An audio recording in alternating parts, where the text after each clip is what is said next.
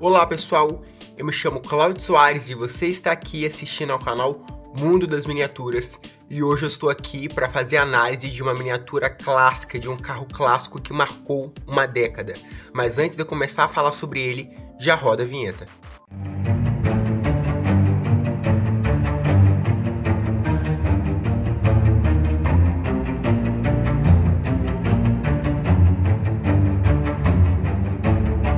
Logo no começo do vídeo já quero pedir encarecidamente para vocês deixarem o like, clicar no botão de inscrever-se e ativar as notificações, porque fazendo isso o YouTube sempre vai te avisar ali quando tiver um videozinho novo. Hoje eu tô aqui para trazer análise para vocês desse modelo maravilhoso, que é o Cadillac V16 Cabriolet de 1931.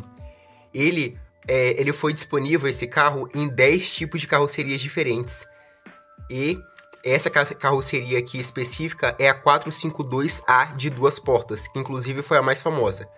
Ao todo foram 4.076 unidades é, feitas desse Cadillac V16 e dessas 4.076 unidades, mais de 3.000 era nesse estilo aqui cabriolet, que foi o, o estilo que mais fez sucesso.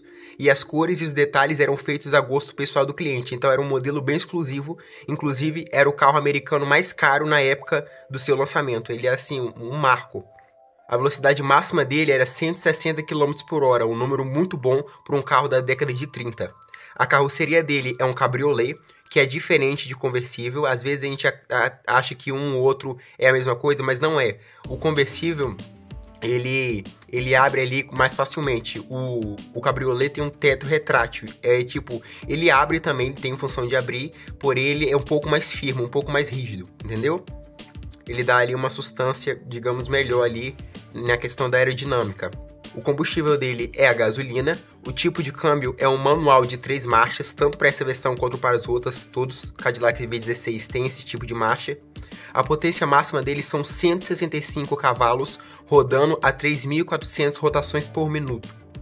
O motor dele é um 7.4 V16. Imagina como que isso bebe uma gasolina, hein, gente? Se andou ali poucos quilômetros, a gasolina já, já se foi. De, com, com um motor de 7.4 é muito beberrão.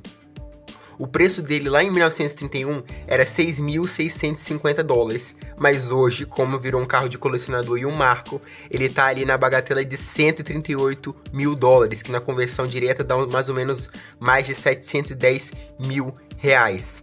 Lembrando que isso é na conversão do dólar, somente convertendo dólar. Se, se, se alguma unidade desse modelo chegasse ao Brasil aqui, pro, provavelmente bateria a casa dos 1 milhão de reais, com certeza. Essa miniatura aqui, ela saiu é, como Racing Champions, inclusive eu tenho aqui a cartela, ó. Eu mostrei para vocês no vídeo do unboxing. Olha aqui a cartelinha dela. Eu comprei ele como Racing Champions, porém ele é da Johnny Lightning. A cartela tá como Racing Champions, porém o molde em si é da Johnny Lightning. Eu vou até mostrar aqui na parte de baixo, ó, escrito aqui, ó. Tá aqui desse lado aqui, ó. Vou mostrar para vocês, olha só. Johnny Lightning. Não sei se eu vou conseguir focar para vocês. Olha lá, bem pequenininho.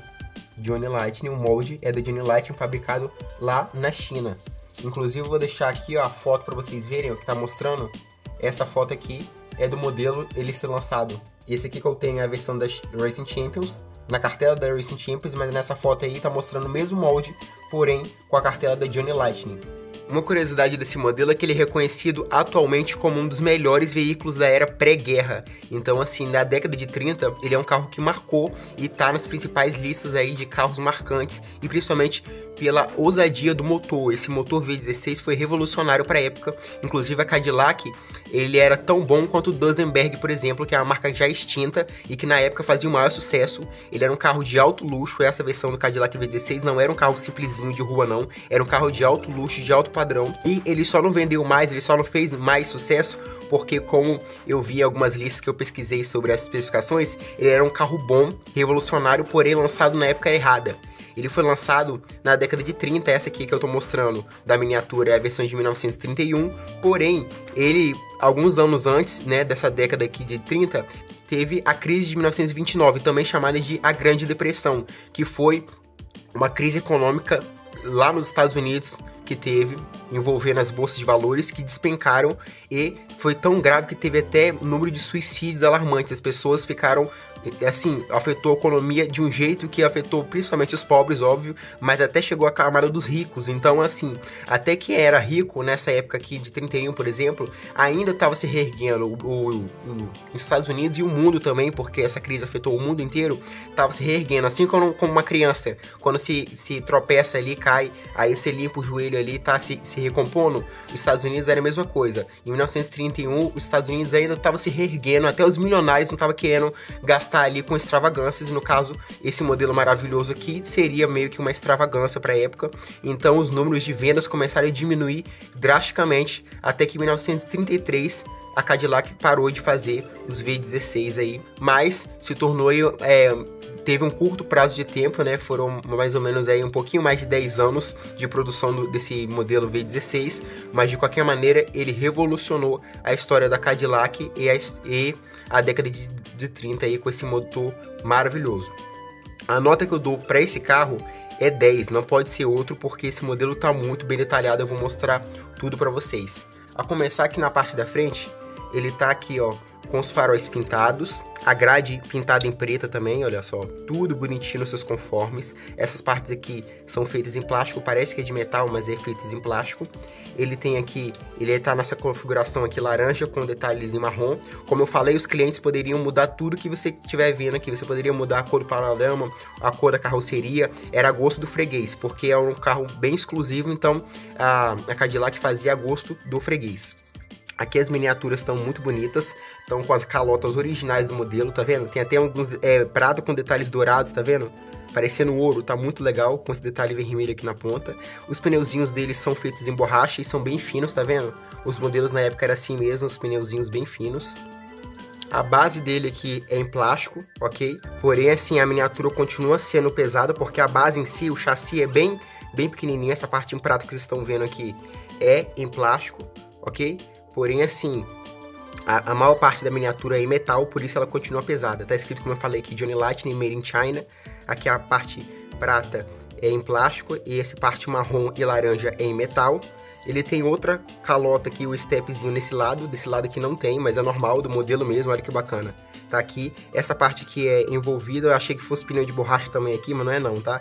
Essa parte aqui é calota, tá, tá em tá em um outro material, envolvendo aqui na parte do pneu. A roda é o mesmo material daqui, só que aqui eles usam pneu de borracha normal e aqui tá a parte mais lisinha, ok? Aqui tá o teto dele, como eu falei, o teto retrátil, o teto cabriolet, com esse detalhe aqui é em cinza na lateral, bem bonito.